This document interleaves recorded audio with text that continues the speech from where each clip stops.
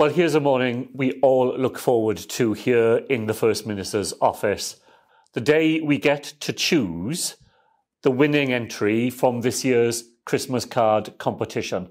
Always a real challenge to come up with just one winner because this year, as ever, the entries have been huge and the standard has been fantastic.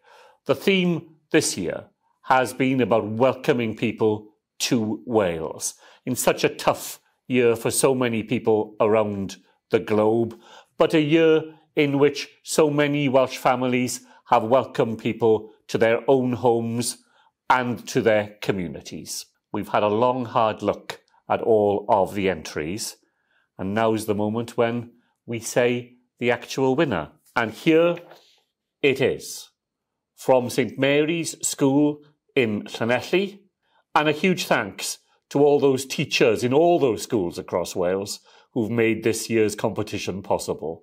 Diolch o galon i chi gyd.